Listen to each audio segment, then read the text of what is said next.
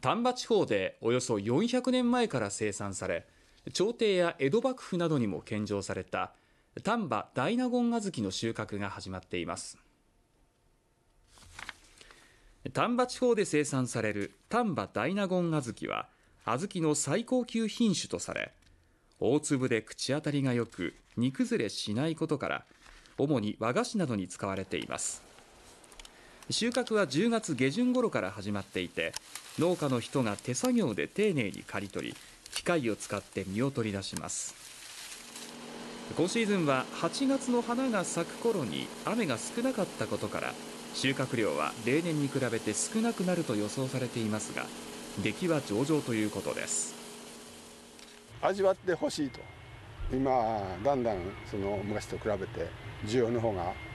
減ってきてるんじゃないかなと思われるんでまあみんなこう味わってほしいなと。いうことで、